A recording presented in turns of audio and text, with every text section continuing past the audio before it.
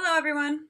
Thank you for hanging out with me tonight. Right now, I am doing a live stream. I'm thinking of leaving this video up on my channel, so I do want to let you know that this is a live stream. I am going to respond to some of your questions on things. I just got off of the live stream with Chris Hansen, and it was intense. It was a lot more than I thought we were going to talk about. We talked a lot about my personal history and all of it related to Onision. And trust me, I get it. I know that a lot of you are not in the mood to hear about Onision again, but I've said it before and I'll say it again. I think it's important to call out predatory behavior, especially if someone is using a platform, YouTube, that I love so much for such nasty reasons. It just is not something that I want to stand for, and if I can contribute in any way to the conversation, which hopefully I was able to, I definitely want to do that. I definitely want to do that. I think it's important. So, thank you for being in this live stream. Thank you for hanging out. Hannah, thank you for the super chat.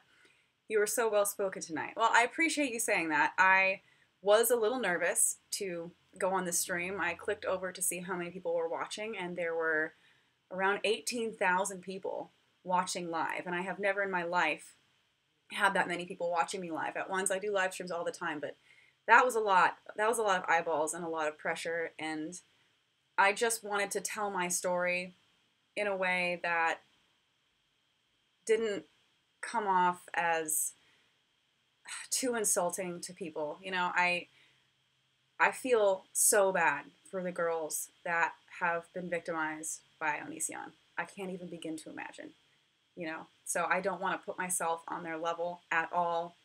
I am much older than those girls and did not have the experiences they had. The only reason I wanted to go on the show and why I accepted the invitation is because if I can add to the narrative in some way that helps them by building a stronger case against him, I am all in. I am all in. Thank you for all the kind words. Thank you, Luna, for the super chat. So much love and respect for you. Thank you. I, I do appreciate the support. I wasn't sure how it would be received. It seemed like it was received pretty well. Chris Hansen was very nice. We were in the live stream probably for about 40 minutes before it went live, just talking about some things we wanted to go over. He was telling me about his experience going to Onision's house. For those of you who don't know, Chris Hansen went to Onision's house and I, don't, I never know what to call him. Greg, Onision, James. I feel like he has a hundred million different names. But Chris Hansen went to Onision's house and knocked on his door. And that is something that he has a history of doing. He finds predators, he knocks on their door and has them take a seat. And he did that for Onision. And Onision's response was to call the police. And if you have not already listened to that call, it is on YouTube. You can watch the uh, watch the video of him or the, the audio of him calling the police, and it is hilarious. He is clearly terrified out of his mind, and he's trying to explain to the police that it's Chris Hansen. It's Chris Hansen. He's knocking on my door. And the police are like, okay. And first of all, uh, I think it's a pretty bad move for someone who is under a lot of heat right now for his predatory actions. I just think involving yourself with the police is a bad move. Like you're giving them more reason to go after you. But if that's what he wants to do, hey, uh, go for it, Greg. Um, but the, the 911 call is really funny. So I, I suggest that you guys take a listen to that if you haven't. And I also suggest that you watch the interview. Oops, sorry. I suggest that you watch the interview that I had with Chris Hansen. We talked about a lot. Um, he had me pretty much do a deep dive into every interaction I've ever had with Onision. And it starts a long time ago, and I'm so embarrassed to say this. I plan on making a video in the future at some point where I kind of uh, make fun of myself. If you go to my first upload that I have ever made on YouTube, my first video, it's literally called my first YouTube video, by the way. Brilliant title. I mention Onision I mentioned Onision in it. This is back gosh, I know I created my channel in 2011, but I don't know when I posted that video. But it was 2011 or 2012. And I mentioned in that video that I'm, you know, a fan of Onision. And as embarrassing as that is, it just goes to show you that I knew of him for a long time. I've known of him for a long time. And the reason why I knew of his channel was because back then, especially, people weren't talking politics, religion. Uh, he was doing a lot of animal rights things, which is something that I was also very interested in. And that wasn't something that was common on YouTube. So obviously, that is something that I take an interest in. A lot of my content revolves around those types of things. So when you find other people on YouTube talking about similar things, you find out who they are and you watch some of their videos. And that's kind of what I did at the very beginning. So fast forward years later in 2015, I get a DM from Onision. Now I was I was following him on Twitter, so I had already kind of opened up the communication there. We had not communicated prior to him messaging me, but I was already following him. So when he followed me, he was able to just DM me right away. And he said that he had seen the video of me where I was outside of Comic Con and I was debating some of the street preachers there that were holding up terrible signs about hell and uh, all that great stuff. And I, you know, challenged them. And he saw that video and he thought it was great. Obviously, you know, he does or used to do content on religion, so he liked that video and he reached out to me and offered to fly me out to his house in Seattle to collaborate with him. Now, it wasn't just me, he also flew Make Me Bad 35, Damien, he flew him out. He flew Hey Nadine out. So it was a group of four of us making videos together. Not great videos, by the way. I'm embarrassed. There were some like weird Batman skits that he had on his channel, and I did a skit on my channel that was like kind of dumb. Uh, but you know, regardless, I I did have a good time doing that, and that was my first time ever meeting him. It was some of my first interactions with him, and I didn't really think much of it. Um, him and his spouse were fighting at the time. They had this bizarre agreement that he would give her a hundred dollars anytime he did something terrible or, or called her a name or something, which is messed up. They had a son that I played with. He was really cute, and I, I feel bad for there's a, I guess there's another kid now. I feel bad for the kids involved with all this, but that was pretty much my experience with him. He had a a moment of, of it being uncomfortable with Nadine because he was really really angry with her, like angry in a way that doesn't make sense. He was so angry with her because she was wearing high heels. I don't know. He just, you know, women shouldn't be wearing high heels because it's bad for your arch support, and therefore I deem them bad, and no woman should wear high heels. And it was just so judgmental and controlling in, in a, a very strange way. So that's a huge red flag. And that was kind of it. That was that was the extent of my experience there. It was overall a positive experience until that point, I really hadn't had many people that I knew on YouTube that I could make videos with and collaborate with. So having the opportunity to work with people, especially someone that I had been watching for so long, I was excited about it. Uh, I think anybody would be. It seemed at the time like not a bad thing. I will say, and this is where it gets a little weird. Uh, I will say that when I was there, we did have some moments, not a lot, because we honestly were working almost the entire time I was there filming videos. But there were some moments of downtime when we were eating or something where we would kind of talk about life. And at the time, I was uh, going through a breakup and I opened up a little bit about my insecurities with relationships and things. And he knew. He knew that that was a weak point for me, that I had relationships prior that had, you know, men that were unfaithful and that that was an insecurity of mine and I had some self-worth issues and I did I did talk about that. And now looking back on that experience, that conversation's a little disturbing for a few reasons. First of all, it's disturbing because one of the videos we did was a skit, I guess it was supposed to be funny, of a girl that was in an abusive relationship. And I played the girl uh, and it, it was so bad to the point where I was pretending to like be held back and punched and on the floor and getting kicked. And I get it was it was supposed to be funny and it was all in jest, but now looking back and, and knowing the kind of person he is now, it's very disturbing, I, I would say. It's kind of disturbing thinking about that interaction. Um, and I had a, a guy that, like I said, I was going through a breakup that did not want to let go of the relationship. He would show up to my apartment. He would break into my apartment complex and leave notes on my car and refused to stop calling and it was it was ridiculous to the point where I had to block this person out. He knew that I was at Onision's house when we were doing all those collaborations and he reached out to somebody trying to get Onision's address so that he could send me flowers while I was there, I guess in some kind of hope that we would get back together. Really weird. And Onision knew about it, and he even was like, This is super creepy. This guy is bad news. Stay away from him. So remember that. It will it will come into play later. Um, so when I left Onision's house, it didn't nothing really stood out to me to worry about. There weren't big enough red flags for me to leave and be uncomfortable with that trip. It was fine. It was whatever.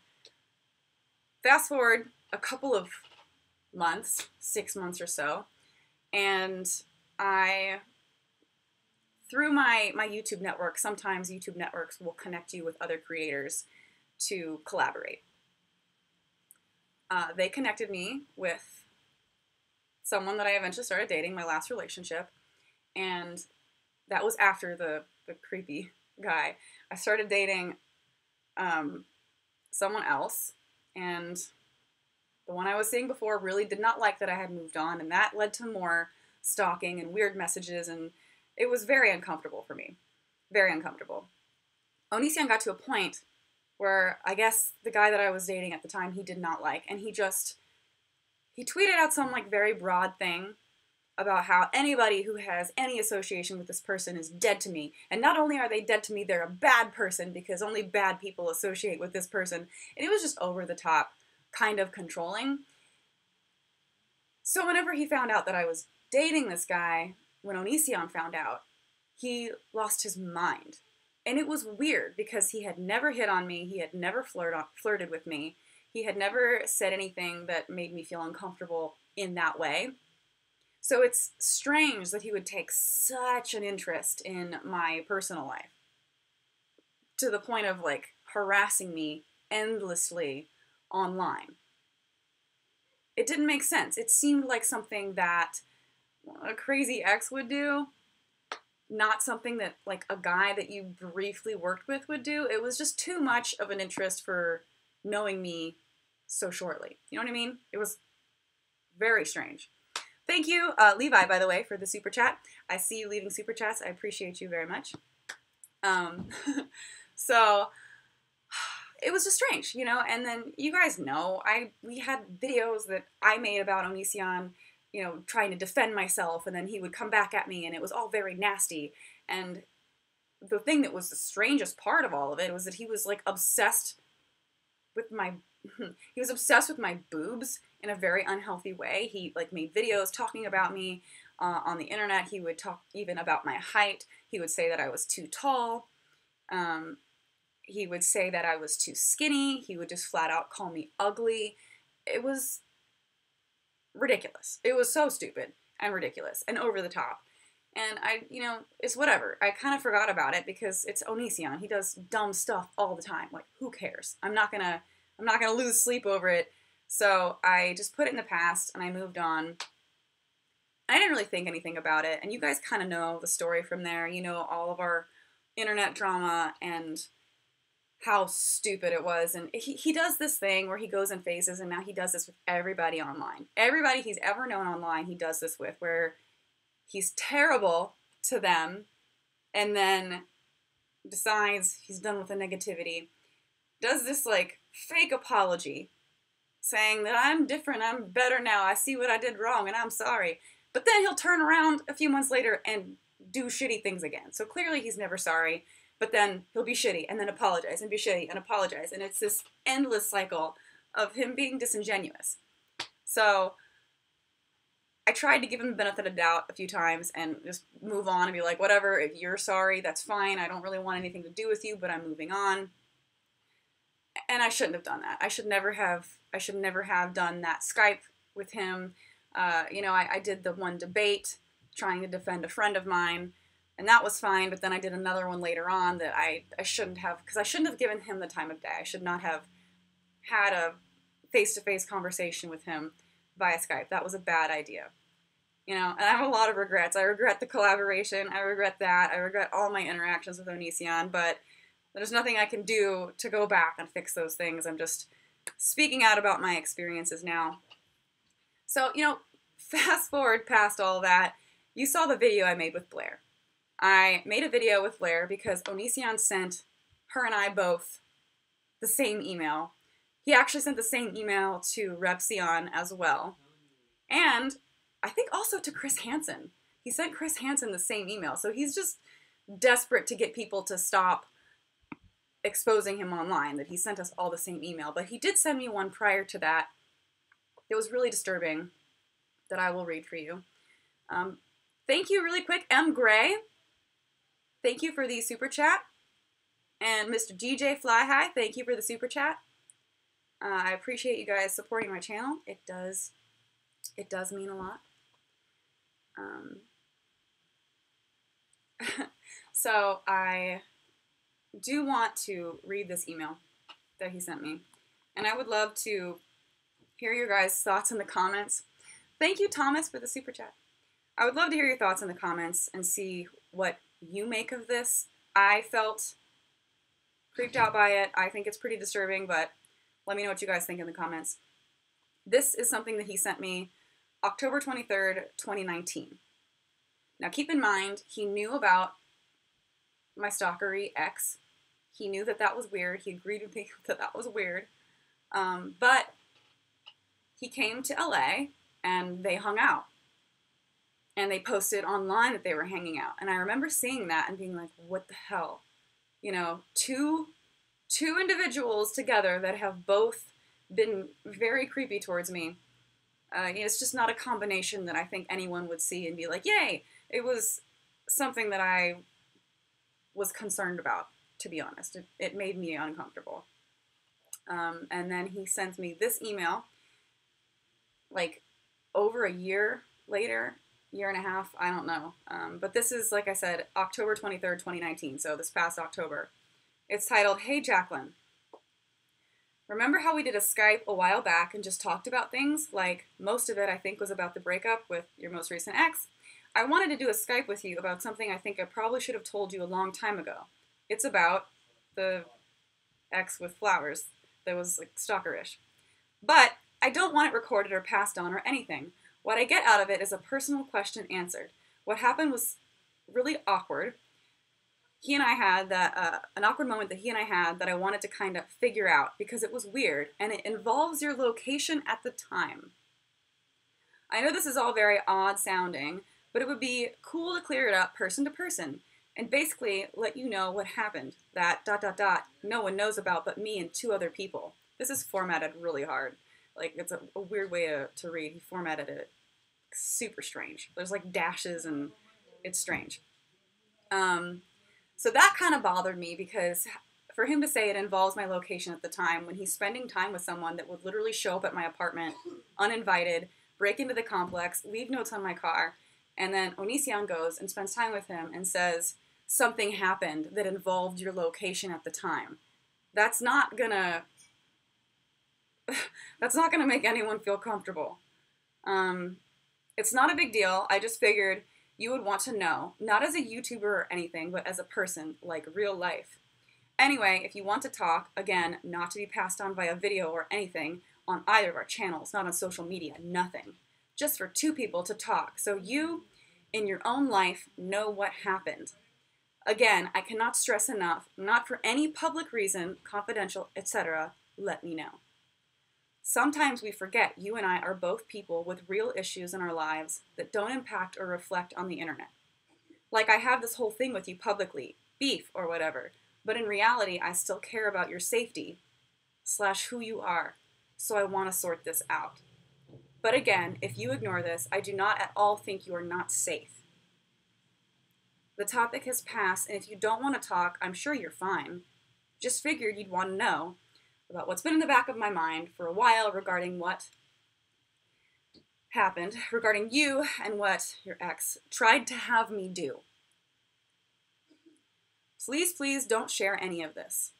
I'm not trying to be at odds with him. I just want you to know that's it.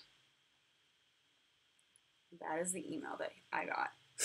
I uh, have not responded. I, I have cut off communication. Like, Onision was relentlessly texting me. I had to literally make videos saying, You need to stop texting me, you need to back off.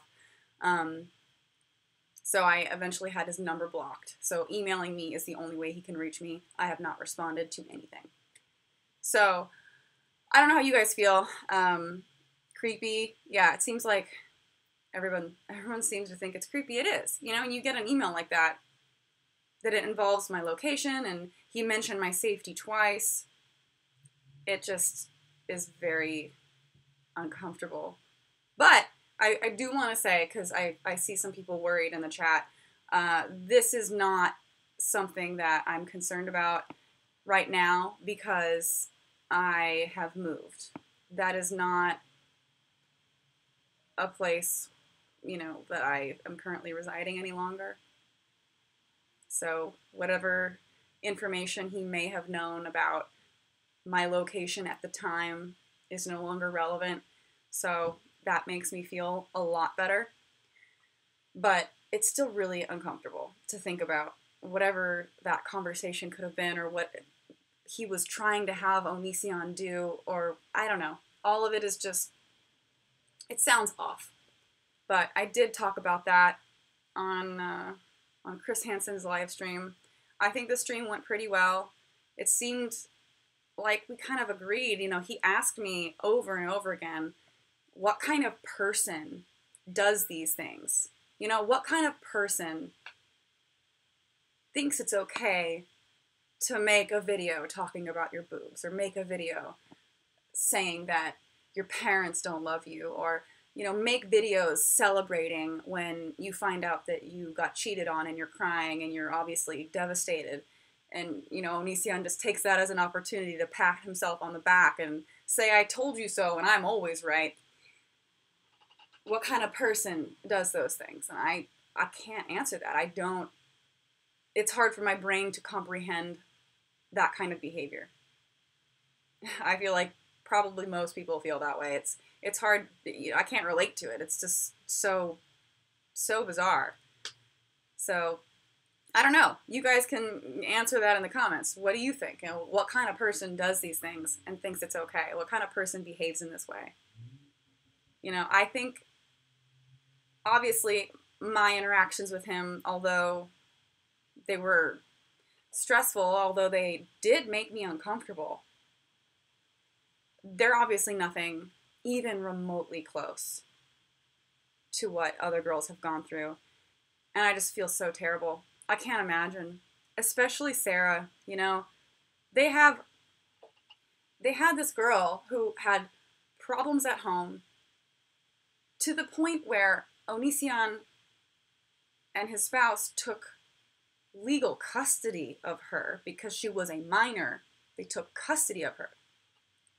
So imagine being in that situation where you're trying to get away from home and you think these people are good people and you already have you know family issues which is tough.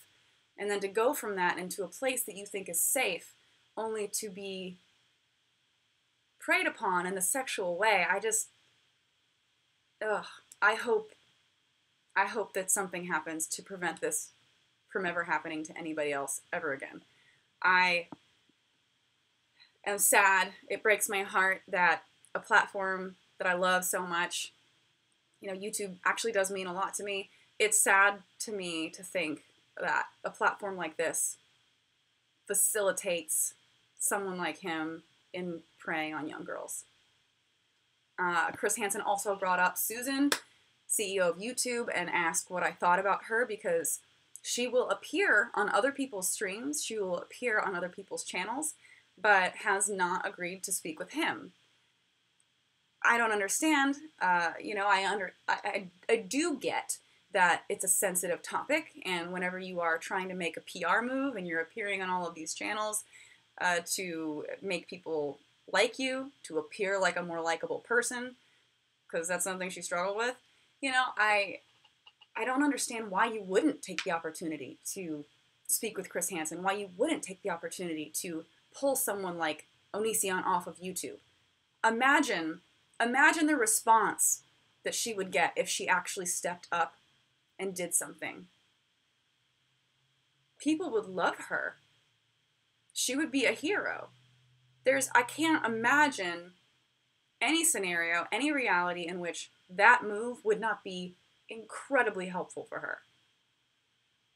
But she doesn't do it. She shies away from it.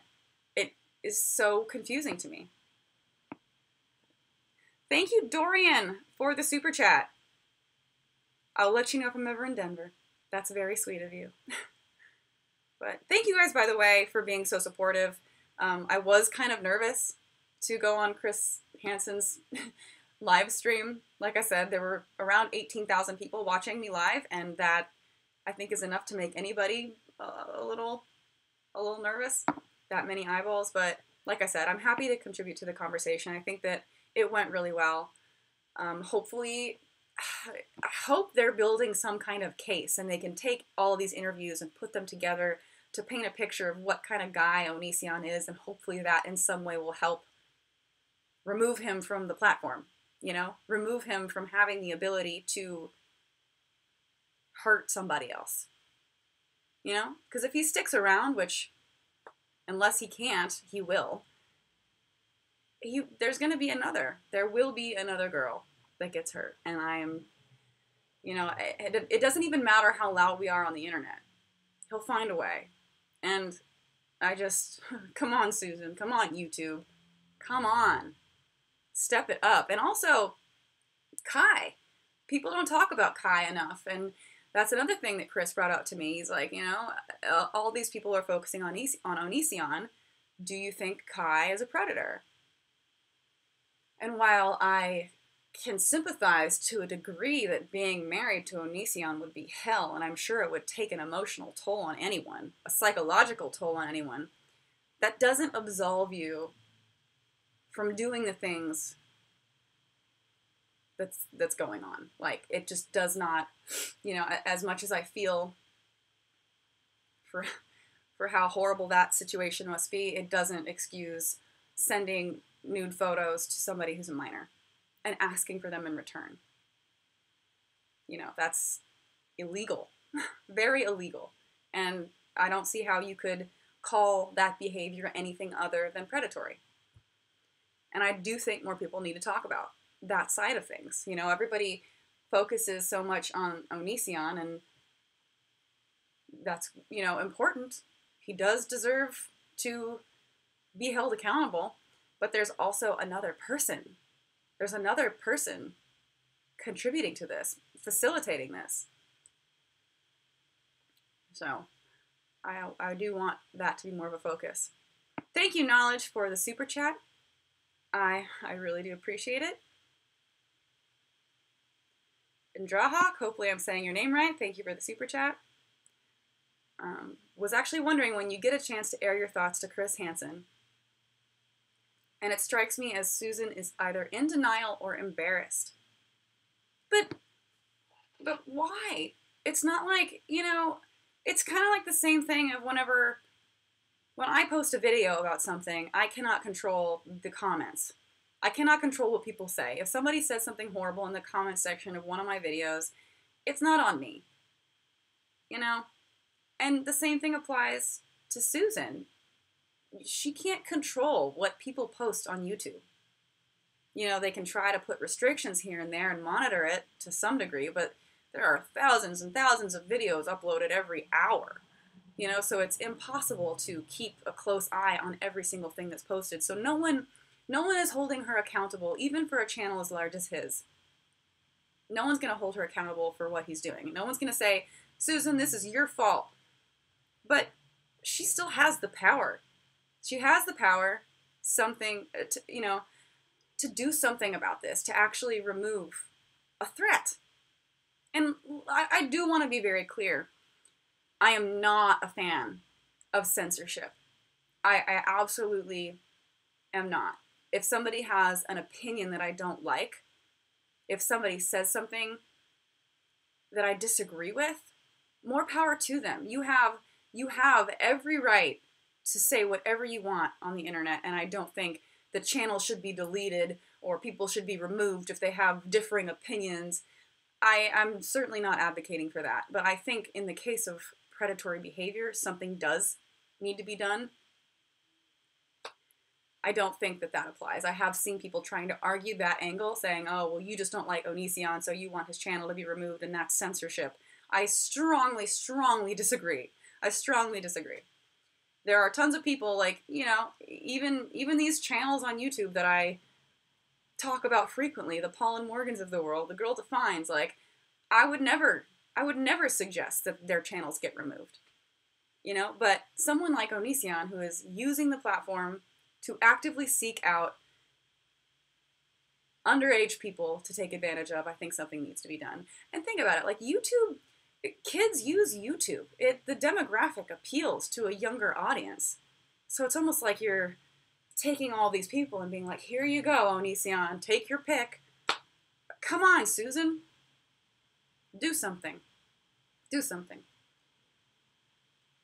Chris asked me if I if I could say something to Onision, what would it be? And I said, get help. And I know that sounds condescending, and I'm not trying. I'm not trying to be holier than thou because I think a lot of times it's like when someone condescendingly says, I'm praying for you or I hope you get help. Like it doesn't sound great. But in the most genuine way, I truly do hope that for him. I hope that you know, sometimes you need that in life. I think a professional could be very valuable to him. I also hope that he takes a look inward and really considers the damage that he's done to these girls. A little bit of self reflection could go a long way. So that is something that I think about. And I'm just hopeful that at some point, he does the right thing.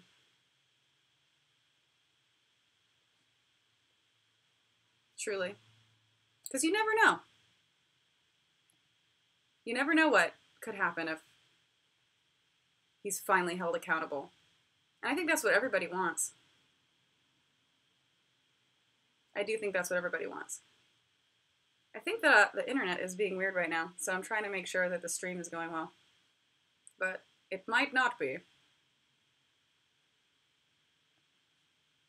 Hmm. But thank you guys for hanging out with me. Thank you for all people leaving super chats. Thank you for everybody who, you know, has been saying positive things. Like I said, you know, I, I totally understand, totally get it. I totally get it that people are real, real tired of talking about Onision. I totally understand. But at the same time, you have to consider that being a voice in this area of YouTube that's creepy with people using the platform for negative things, like being a voice is valuable. And I apologize for for driving this conversation into the ground, but I think a lot of us are. A lot of a lot of creators are. And I think it's good. I think it's good to do that. Because until he until he's gone, until until the threat has been removed, I think people should keep talking about it. Absolutely 100%. So, let me know what you guys think. Do you are you also of the same mindset? Do you feel like more people need to talk about it? I certainly do. So thank you guys, by the way, for the super chats. I'm, I'm going to eventually scroll through and uh, say hi to everyone. I do see you all, though, and I, I appreciate I appreciate the support. I appreciate the kind words. Uh, let me know if you guys have any questions. I'm going to wrap this stream up in a little bit. But I am thankful for you hanging out with me. I'm thankful for you, you know, standing up with me. I think even like watching something like this or sharing things like this or participating in the conversation, I think it moves it along. It certainly does. So thank you guys for hanging out. I don't know what else uh, to go over. I am embarrassed that I've ever worked with Onision. I'm embarrassed that I ever publicly kind of forgave him for some of the things that he's done. I will say that, you know, it's hard for me, it's hard for me to forgive what he does to other people. I think it was easy for me to move past the stuff that he did to me because that's I try to be a forgiving person. It was a mistake in this case. I try to be a forgiving person because honestly, even for myself, it gives me peace of mind. It gives me peace of mind to let go of of anger, to let go of resentment. And I thought, you know, if he truly was apologizing and, and bettering himself, that I wouldn't give it a chance in the sense of of allowing somebody like that back into my life, but I would be like, just truce and end it. And that's kind of what I wanted. That's truly what I wanted.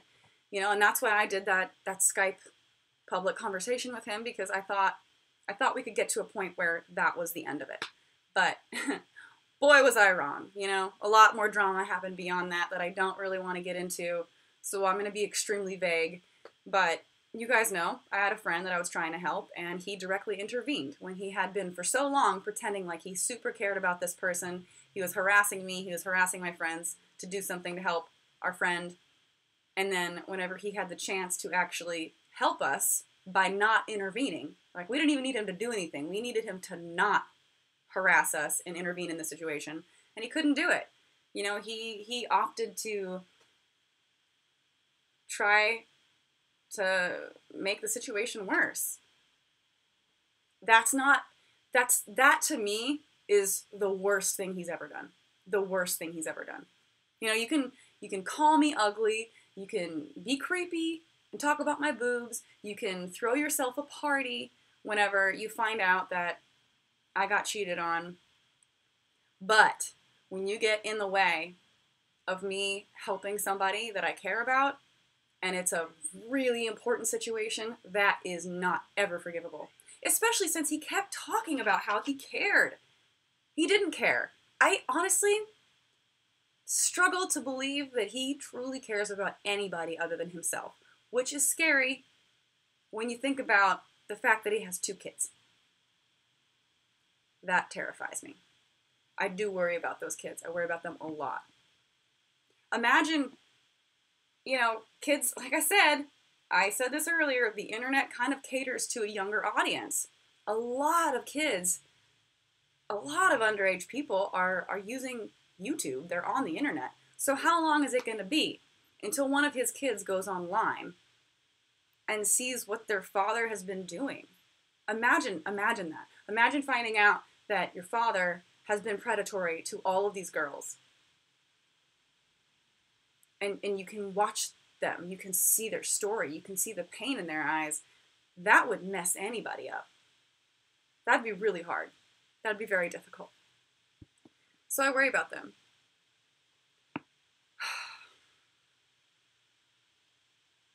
I really hope that enough evidence can be scraped together so that the police can actually do something to make him pay for what he's done. I, I am I don't like thinking about somebody like him being just still out there, you know, he's still on YouTube. The only way to make sure that he doesn't hurt anybody else is to take away the means that he has to do so. And the biggest platform he uses is YouTube. So, Susan, step it up, girl. Do something. She can. Hopefully the police, you know, legally are able to do something at some point in the near future as well. And that's why I think, you know, as as small of a contribution as it may be, that's why I think going on Chris Hansen's stream and everybody who has been a part of that conversation, I think it helps. I think it paints a picture of who he is, and if the time comes that he's maybe in court or something like that. I think all of this together will build a stronger case. So, nothing but love to everybody who's been a part of this, uh, everybody who's made videos, everybody who's been on Chris Hansen's streams, everybody who's watched them, everybody who's left comments, everybody who's sent encouraging things to the girls he has hurt. You know, thanks. Thank you for being a part of it. But I think I'm going to, uh, with that, I'm going to end this stream. I'm going to leave it up on my channel for those who missed it. And I also think it is kind of interesting to hear my final thoughts on it. I'm sure a lot of people are going to go back and watch Chris Hansen's stream with me, and, you know, this is a nice recap of that. Uh, I'm glad you guys enjoyed it. I'm thankful that you're all being so supportive, and I will see you on the internet soon. All right.